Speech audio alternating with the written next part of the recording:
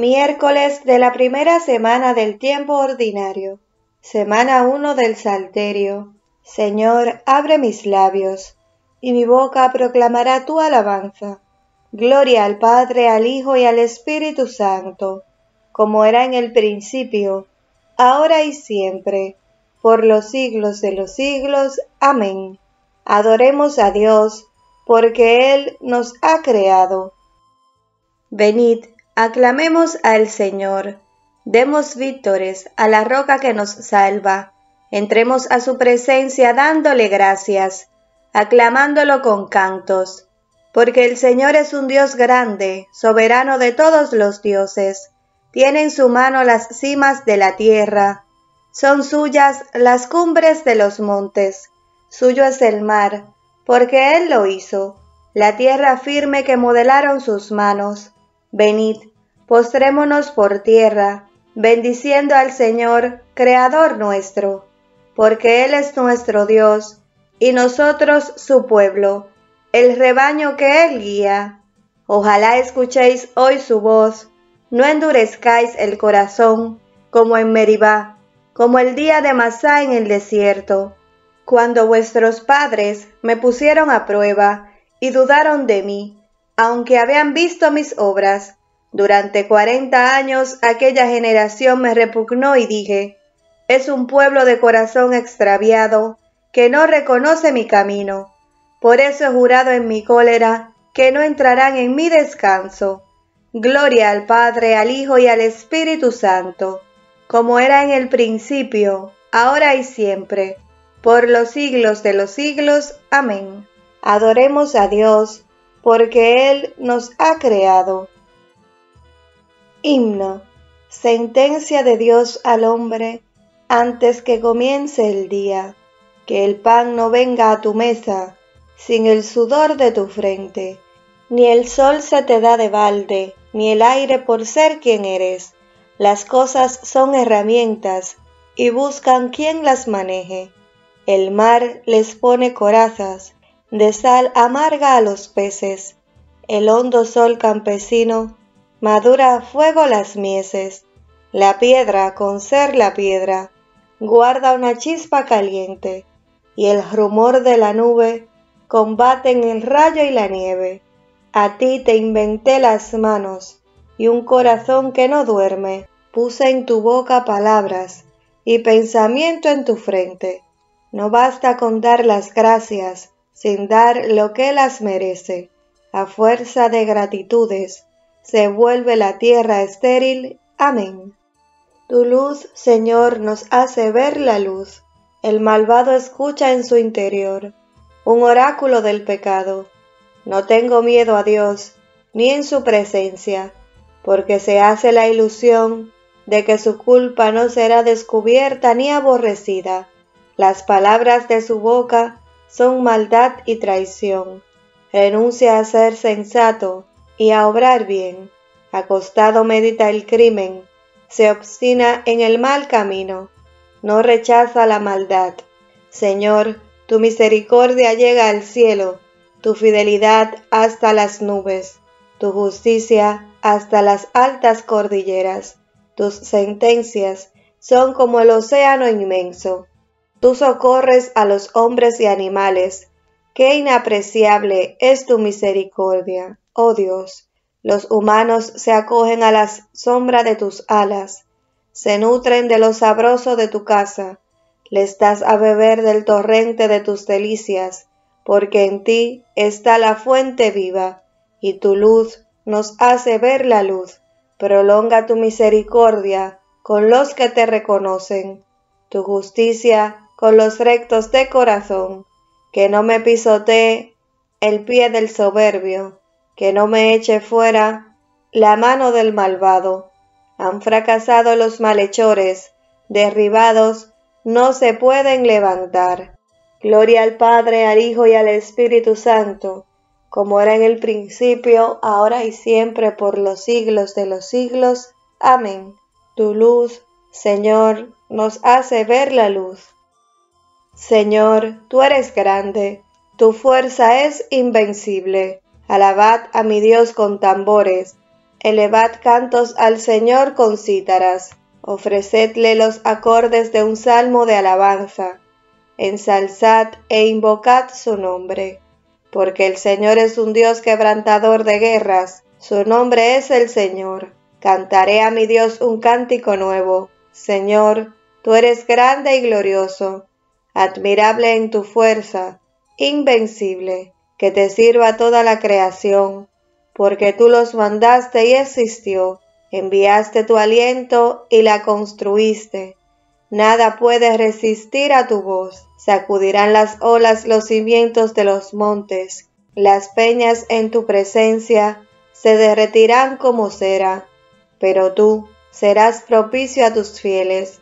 Gloria al Padre, al Hijo y al Espíritu Santo, como era en el principio, ahora y siempre por los siglos de los siglos. Amén. Señor, tú eres grande, tu fuerza es invencible. Aclamad a Dios con gritos de júbilo. Pueblos todos, batid palmas, aclamad a Dios con gritos de júbilo, porque el Señor es sublime y terrible, emperador de toda la tierra. Él nos somete los pueblos y nos sojuzga las naciones. Él nos escogió por heredad suya. Gloria de Jacob, su amado. Dios asciende entre aclamaciones. El Señor, al son de trompetas. Tocad para Dios, tocad. Tocad para nuestro Rey, tocad. Porque Dios es el Rey del mundo. Tocad con maestría. Dios reina sobre las naciones. Dios se sienta en su trono sagrado. Los príncipes de los gentiles se reúnen con el pueblo del Dios de Abraham, porque de Dios son los grandes de la tierra, y Él es excelso. Gloria al Padre, al Hijo y al Espíritu Santo, como era en el principio, ahora y siempre, por los siglos de los siglos. Amén. Aclamad a Dios con gritos de júbilo. Del libro de Tobías. No hagas a nadie lo que no quieras que te hagan. Da de tu pan al hambriento, y da tus vestidos al desnudo. Busca el consejo de los prudentes.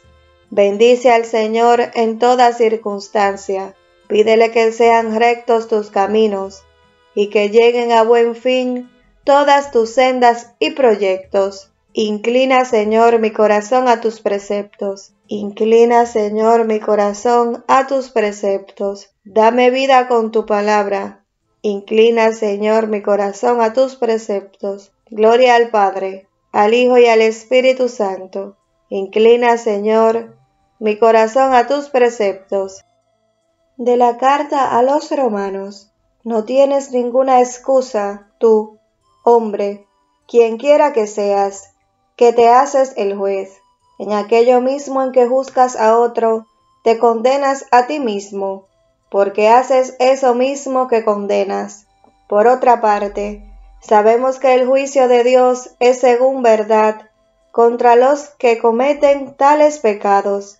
Y tú, que condenas a quienes tal hacen, y con todo lo haces tú mismo, ¿piensas escapar del juicio de Dios?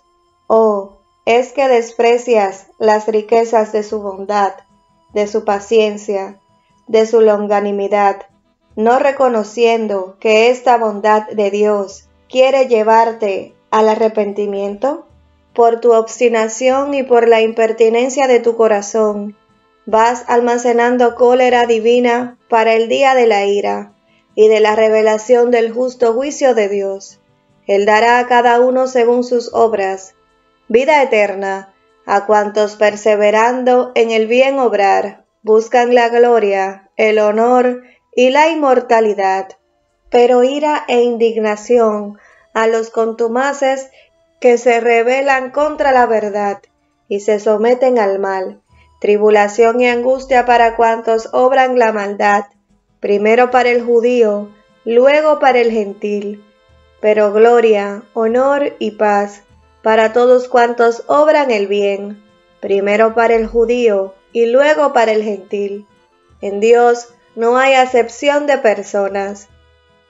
Todos los que pecaron sin conocer la ley, perecerán sin la ley, y cuantos pecaron con conocimiento de la ley serán juzgados por la ley, porque no los que escuchan la explicación de la ley son justos ante Dios, sino que serán justificados aquellos que la pongan en práctica. Y así es, los gentiles no tienen ley, cuando, guiados por la razón, cumplen los preceptos de la ley, ellos mismos, sin tenerla, son ley para sí.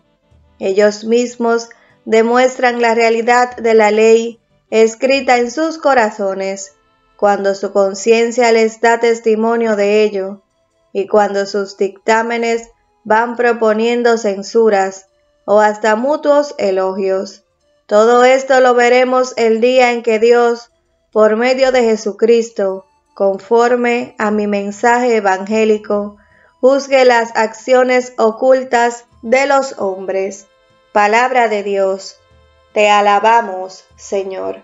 ¿Es que desprecias tú, hombre, las riquezas de la bondad de Dios, de su paciencia y de su longanimidad, no reconociendo que esta bondad de Dios quiere llevarte al arrepentimiento? Por tu obstinación y por la impertinencia de tu corazón, vas almacenando cólera divina para el día del justo juicio de Dios, tan grande como su compasión es su escarmiento. Cada uno recibirá según sus obras. Vas almacenando cólera divina para el día del justo juicio de Dios. Del Tratado de San Irineo, obispo contra las herejías. Nadie puede conocer al Padre sin el Verbo de Dios, esto es, si no se le revela el Hijo, ni conocer al Hijo sin el beneplácito del Padre. El Hijo es quien cumple este beneplácito del Padre. El Padre, en efecto, envía, mientras que el Hijo es enviado y viene. Y el Padre, aunque invisible e inconmensurable, por lo que a nosotros respecta, es conocido por su verbo, y aunque inexplicable, el mismo verbo nos lo ha expresado. Recíprocamente, solo el Padre conoce a su Verbo, así nos lo ha enseñado el Señor, y por esto el Hijo nos revela el conocimiento del Padre por la manifestación de sí mismo, ya que el Padre es conocido por la manifestación del Hijo, todo es manifestado por obra del Verbo. Por esto el Padre reveló a su Hijo, para darse a conocer a todos a través de él, y para que todos los que creyesen en él mereciesen ser recibidos en la incorrupción y en el lugar del eterno consuelo, porque creer en él es hacer su voluntad.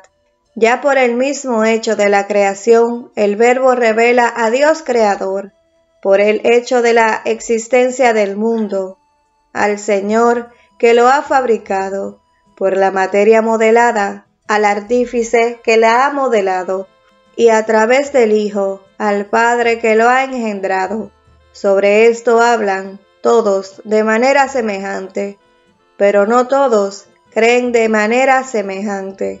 También el Verbo se anunciaba a sí mismo y al Padre a través de la ley y de los profetas, y todo el pueblo lo oyó de manera semejante, porque no todos creyeron de manera semejante, y el Padre se mostró a sí mismo, hecho visible y palpable en la persona del Verbo, aunque no todos creyeron por igual en él.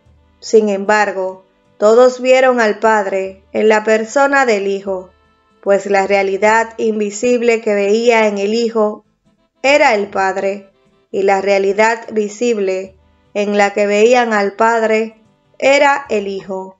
El Hijo, pues, cumpliendo la voluntad del Padre, lleva a perfección todas las cosas, desde el principio hasta el fin, y sin Él nadie puede conocer a Dios. El conocimiento del Padre es el Hijo, y el conocimiento del Hijo está en poder del Padre, y nos lo comunica por el Hijo. En este sentido, decía el Señor, Nadie conoce al Hijo sino el Padre, como nadie conoce al Padre sino el Hijo, y aquel a quien el Hijo se lo quiera revelar. Las palabras se lo quiere revelar no tienen solo un sentido futuro, como si el Verbo hubiese empezado a manifestar al Padre al nacer de María, sino que tienen un sentido general que se aplica a todo tiempo. En efecto, el Padre es revelado por el Hijo, presente ya desde el comienzo de la creación. En efecto, el Padre es revelado por el Hijo, presente ya desde el comienzo en la creación, a quienes quiere el Padre cuando quiere y como quiere el Padre, y por esto en todas las cosas y a través de todas las cosas hay un solo Dios Padre, un solo Verbo, el Hijo, y un solo Espíritu como hay también una sola salvación para todos los que creen en él. Del Tratado de San Irineo, obispo contra las herejías. Nadie ha visto jamás a Dios. El Hijo unigénito, que está en el seno del Padre, es quien nos lo ha dado a conocer. Nadie conoce al Padre sino el Hijo, y aquel a quien el Hijo se lo quiera revelar. El Hijo unigénito, que está en el seno del Padre, es quien nos lo ha dado a conocer.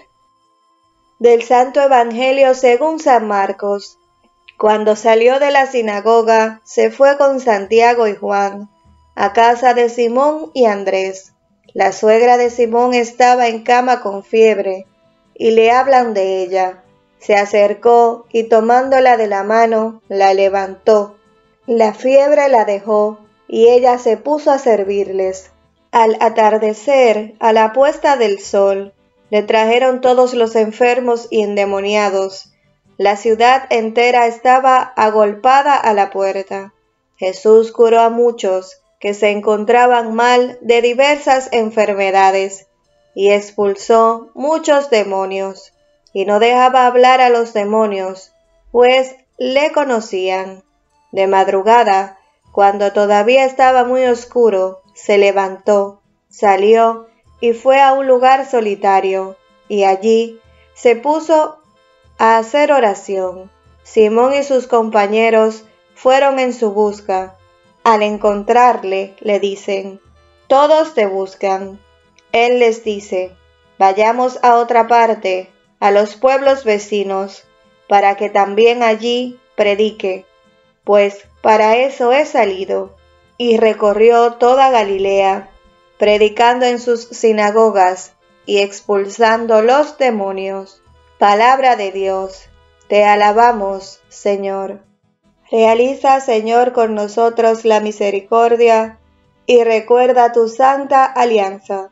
Bendito sea el Señor Dios de Israel, porque ha visitado y redimido a su pueblo, suscitándonos una fuerza de salvación en la casa de David su siervo, según lo había predicho desde antiguo, por boca de sus santos profetas. Es la salvación que nos libra de nuestros enemigos y de la mano de todos los que nos odian.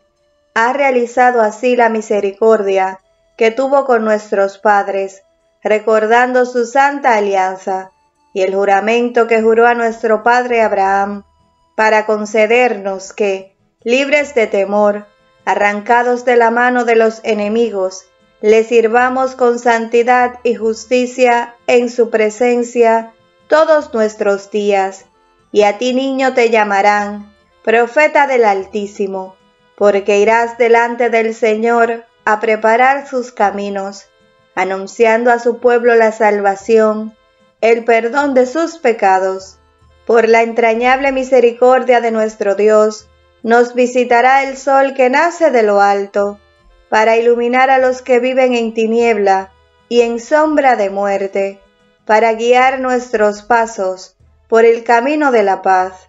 Gloria al Padre, al Hijo y al Espíritu Santo, como era en el principio, ahora y siempre, por los siglos de los siglos. Amén. Realiza, Señor, con nosotros la misericordia y recuerda tu santa alianza. Demos gracias a Cristo y alabémoslo porque ha querido santificarnos y llamarnos hermanos suyos. Digámosle, pues, confiados, santifica, Señor, a tus hermanos. Concédenos, Señor, consagrar el principio de este día en honor de tu resurrección, y haz que todos los trabajos que realicemos durante esta jornada te sean agradables. Santifica, Señor, a tus hermanos. Haz que sepamos descubrirte a ti en todos nuestros hermanos, sobre todo en los tristes, en los más pobres, en los que son menos útiles a los ojos del mundo. Santifica, Señor, a tus hermanos, tú que para aumentar nuestra alegría y afianzar nuestra salvación, nos das el nuevo día, signo de tu amor. Renuévanos hoy y siempre, para gloria de tu nombre. Santifica, Señor, a tus hermanos. Haz que durante este día estemos en paz con todo el mundo y que a nadie devolvamos mal por mal. Santifica, Señor, a tus hermanos. En este momento pueda pausar el video para pedir sus intenciones personales al Señor. Oremos confiadamente al Padre como Cristo nos enseñó. Padre nuestro que estás en el cielo, santificado sea tu nombre venga a nosotros tu reino, hágase tu voluntad en la tierra como en el cielo. Danos hoy nuestro pan de cada día, perdona nuestras ofensas, como también nosotros perdonamos a los que nos ofenden. No nos dejes caer en tentación, y líbranos del mal. Amén. Como hermanos en Cristo, compartimos el saludo santo de la paz. Señor Dios, Salvador nuestro, danos tu ayuda, para que siempre deseemos las obras de la luz y realicemos la verdad. Así, los que de ti hemos nacido en el bautismo, seremos tus testigos ante los hombres. Por nuestro Señor Jesucristo, tu Hijo, que vive y reina contigo en la unidad del Espíritu Santo, y es Dios por los siglos de los siglos. Amén. El Señor nos bendiga, nos guarde de todo mal, y nos lleve a la vida eterna. Amén.